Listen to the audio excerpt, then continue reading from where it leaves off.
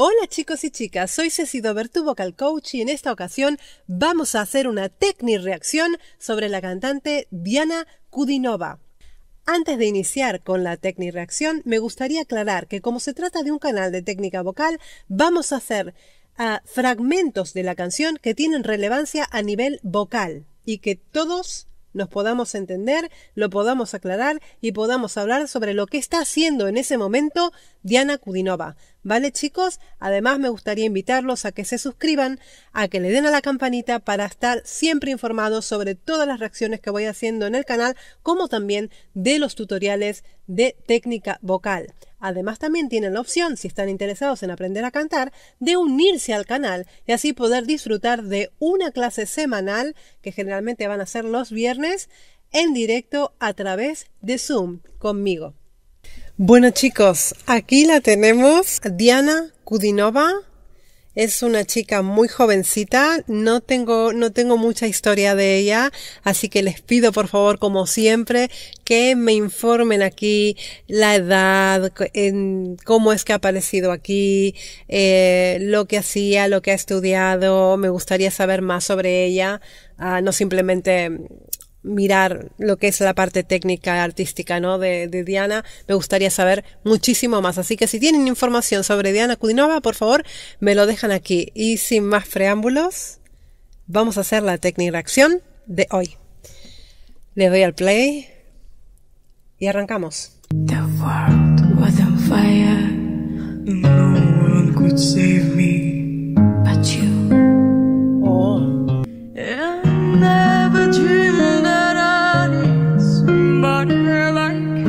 A hacer una pequeña pausita porque mm, están pasando varias cosas técnicas en este momento. Es muy agradable. Em, eh, lo primero que se me, que se me viene a la cabeza es que es muy, es muy agradable, pero sabes, me ha recordado mucho, tiene, tiene como una especie de, de tesitura, bueno, no la, no la he escuchado ir para arriba, ¿no? Pero eh, de una tesitura como de una voz, mm, de una contralto, ¿no? Como con mucho, con mucho cuerpo. Pero me hace recordar, me ha, me ha venido así a la, a la cabeza un poquito de Cher. La cantante Cher, que engolaba un poquito uh, la voz. I never dreamed that I'd lose somebody like. Un poquito así como. Me ha venido así un, un, un pelín, no digo mucho, pero sí en esos, en esos graves, en esos tonos graves, eh, esa voz un poquito así como engolada, sí me ha venido, me ha venido ahora. Eh, fantástico el manejo del, del susurro. Eh, el susurro, vocal fry, toda esta parte, esta primer partecita ha sido muy, muy bonita, muy bien arreglada, ¿eh? Muy bonita. ¿Ves? ¿La vieron?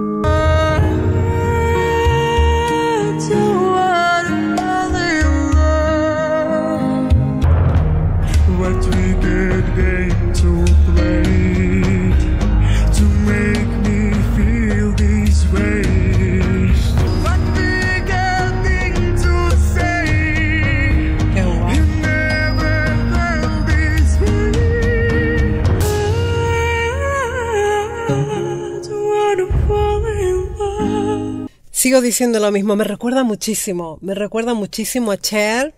En, en, en, en, esa, en esa tonalidad así tan peculiar, engolada. Mm,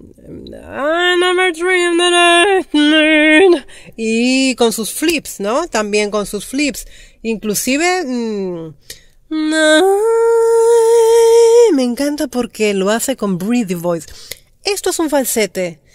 Esa es la diferencia que muchos dicen, está haciendo falsete, le llaman mal, mal vulgarmente o, o de mala manera, le dicen falsete a la voz de cabeza.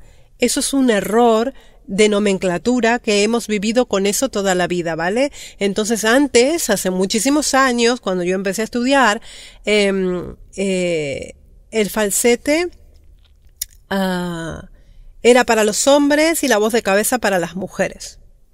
Era una cosa así. Entonces ahora se sabe que no es así, que la voz de cabeza es tanto para los hombres como para las mujeres y que el falsete es otra cosa. El falsete es una voz de cabeza, pero es una voz de cabeza aereada. ¿Qué pasa? Que las cuerdas no se terminan de juntar. ¿Qué pasa? Que por el medio pasa el aire. ¿Vale?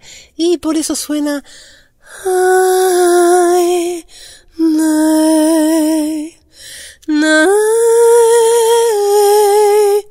¿Vale? Esa es la diferencia, que si fuera una cabeza pura, haría No when I fall in love. En vez de hacer when I fall in love. ¿Vale? Creo que queda claro la diferencia entre la voz de cabeza y el falsete. Es una breathy voice. Seguimos. Muy bonito, muy bonito lo que está haciendo. Es envolvente, chicos. Es envolvente esta chica, madre mía. Seguimos.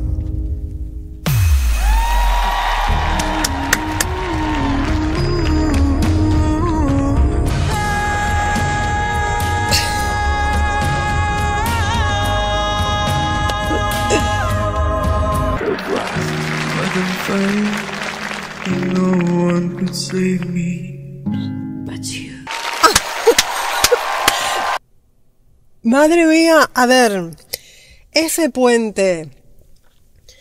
Ah, ese puente así, con su voz plena. No. Para que se den cuenta que muchas veces una voz straight, una voz, uh, una nota sostenida, ah, una sostenida, o sea, prácticamente no la está vibrando, que también puede ser muy bonito y muy envolvente. En este caso es un timbre de voz muy bonito que tiene. O sea, para que ustedes se den cuenta cómo también las voces graves eh, son maravillosas. O sea, no solamente eh, el, está eh, el, el gran cantante en la voz megaguda, esto también es grande. Esto también es poderoso, es muy fuerte, es muy poderosa. Esta chica va a dar mucho de qué hablar. Es fantástica. Gracias. Gracias por recomendarme a Diana Kudinova. No sé si lo estoy diciendo bien y pido mil disculpas. Pero es, es fantástico todo lo que hace. Cómo, cómo maneja distintos matices y distintos colores. Cómo ella sabe envolverte. ¿Vale? Es una atmósfera que se crea mágica es, wow, es fantástica, pero me, me trae ese recuerdo de Cher, me lo trae en esa, no porque cante el mismo estilo, no, por el timbre. Ese timbre así, eh, engolado, inclusive hasta un pelín de Shakira también podría llegar a tener porque hace lo mismo. Lo único que Shakira hace mucho flip. No, no, no, no, es mucho flip. Pero en este caso ella lo usa muy inteligentemente en algunas pinceladitas de flip que hace. Eh, pero ese timbre así engolado eh, está prácticamente presente en casi toda la canción, pero le queda muy bonito, es, es muy bonita, ¿eh, chicos? Les agradezco de todo corazón uh, realmente que me hayan dicho tantas veces que, que analice esta canción. Eh, creo que, que es fantástica. Tiene un poderío vocal muy importante, muy importante. Bueno, no, no, eh, no puedo decirte eh, rangos vocales ni nada con una sola canción, no la, no la he escuchado en, otro, en otras canciones, por lo tanto no, no puedo decirles más. Tengo que escuchar más, así que dejarme links aquí, aquí debajo sobre más cosas, más vídeos de, mm, de Diana, a ver si, eh, si puedo, mm, si puedo saber más, me interesa muchísimo qué más tiene, qué más, hasta dónde podemos llegar a dar, si, si es de verdad que es una contraalto, uh, pues yo, yo la noto con unos graves con mucho cuerpo con mucho cuerpo. Pero no me atrevo a decir que es una contralto, podría ser una mezzo también. Yo soy mezzo y tengo graves con cuerpo, o sea que perfectamente podría ser, no lo sé. Eh, así que dejarme aquí uh, más, más uh, links y más mensajitos. Eh, he alucinado. me gusta mucho, me gusta mucho lo que hace esta chica. Me gusta esa música envolvente, esa música que te atrapa. Y ole por los jurados por haberle dado todos al botón porque realmente lo merece. Esto, vamos, como lo que me gusta, eh, cómo, cómo canta con sus brazos cómo canta con sus manos, cómo canta con sus ojos, con su, con todo su cuerpo, es el instrumento, eso es bueno que lo entiendan. No es solo la voz, no es solamente la voz y las cuerdas vocales, es el instrumento, es todo, es todo el cuerpo. Y ella lo, lo, lo utiliza muy fantásticamente, aunque se la ve tan jovencita, no sé qué edad tiene, se la ve muy jovencita y, y, y lo hace muy bien lo hace ya como una persona muy adulta. Así que nada, chicos, gracias a todos por haberme recomendado Wicked Game de, esta chica, Diana Kudinova y, espero más, más, más links y más cositas para poder seguir analizando. Y, nada, los invito nuevamente, ya saben chicos, likes, comentarios, suscripciones, unirte, todo eso ayuda al canal a continuar creciendo y a que yo pueda continuar haciendo reacciones como esta. Así que les mando un besito muy grande desde Barcelona y como siempre les digo, muy buen trabajo para todos.